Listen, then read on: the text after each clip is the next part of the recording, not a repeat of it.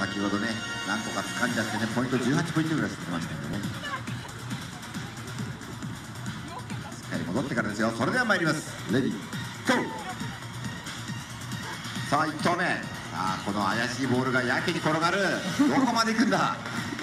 さあ2つの球が交互に転がりながらねどんどん加速してくるみたいななんですが。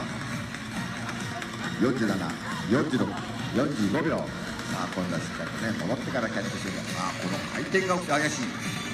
さあそして先のエリア伸びてきたぞ。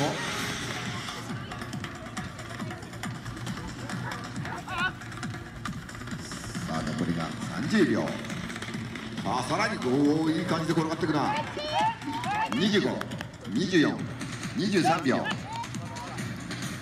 こで残り20秒。さあうまくせばあと2投入る。来たぞこれも来た。残りが131211ここで10秒。さあ頑張れ。7秒65秒前。43さあ投げてきた。これもかなりいっている。ここでタイムアップになりますがさあ第1ラウンドのミスをここで取り戻せるか。ポイントは45ポイント。